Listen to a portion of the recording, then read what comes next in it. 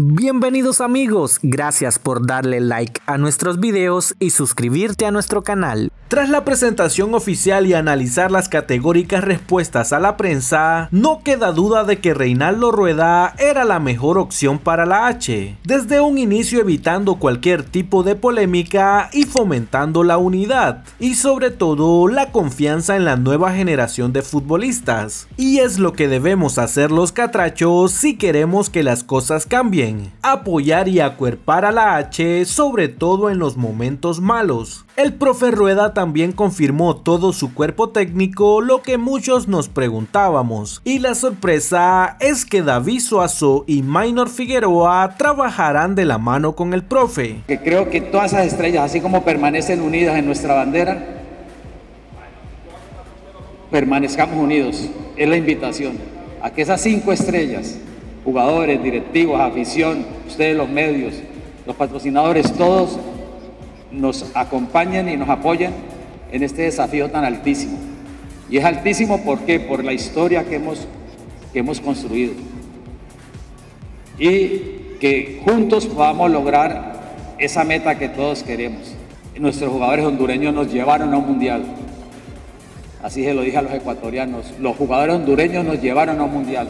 Porque las gestas, la entrega, la mística, la disposición, la disciplina, de los jugadores fueron las que nos llevaron al mundial. No es Reinaldo Rueda ni es el cuerpo técnico, es, es lo que hacen los jugadores dentro de la cancha. Y así se lo dije a los ecuatorianos, así se lo dije a los chilenos, se lo dije a los colombianos.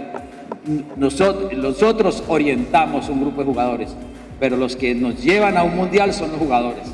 Y esos jugadores es, es el producto de nuestra tierra. Lo que, lo que hoy en día tiene Honduras en la selección nacional, en la sub-15, en la sub-17, fútbol femenino, sub-20, selección absoluta, es lo que ha producido la tierra, es lo que ha producido el fútbol juvenil, es lo que ha producido la Liga Nacional, el fútbol profesional y somos todos uno solo. Y tenemos que quererlos, tenemos que apoyarlos, tenemos que respaldarlos. De verdad que lo pensé porque, porque hay, un, hay un factor que uno dice, uno no quiere eh, borrar con la mano lo que hizo con, eh, con el codo lo que hizo con la mano, ¿no? Pero con la convicción y la confianza que lo podemos lograr. Son otras condiciones, otra, otros, otras, otras características de jugadores, otra, otra generación, pero esa es la tarea nuestra, esa es la responsabilidad nuestra y la gratitud que tengo por, por Honduras, por todo lo que ha significado para nosotros y es siempre lo que le inculco a nuestros jugadores, respetarnos entre nosotros mismos, mirarnos a los ojos, decirnos las cosas de frente y respetar la camiseta, respetar la selección. Eh, yo pienso que todos estos jóvenes que están hoy con esa gran responsabilidad quieren la selección, la respetan también, por eso los invité a ustedes a que, lo, a que los rodeemos, a que los apoyemos, a que, a que los queramos, a que los... Exacto, que todo lo, que, lo positivo para que esos muchachos se tomen confianza de nuevo, porque seguro que todos quieren estar en la selección.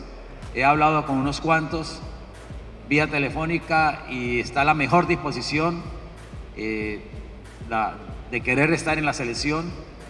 Los he invitado a eso, a que, a que, a que nos, nos aporten todo su talento, toda su experiencia para que construyamos este camino. Composición del cuerpo técnico, eh, me van a acompañar eh, el profesor Alessi Mendoza como asistente, que ya estuvo acá con nosotros, está el profesor Bernardo Redín, que viene también, que me acompañó los últimos años en Atlético Nacional, en Flamengo, en Chile, en Colombia. Eh, viene el profesor Juan Carlos Quintero como preparador físico. Viene el profesor Néstor Lotártaro como preparador de arqueros. Como cuerpo técnico ampliado, como cuerpo técnico de selección nacional, eh, le he hecho una invitación eh, tanto a David Suazo como a Maynor Figueroa para que sean nuestros entrenadores adjuntos en las convocatorias de la selección nacional y que ellos realicen un trabajo de scouting y eh, embajadores de la FENAFUT y del cuerpo técnico minor en la MLS y David Suazo en Europa. Para hacer una cobertura macro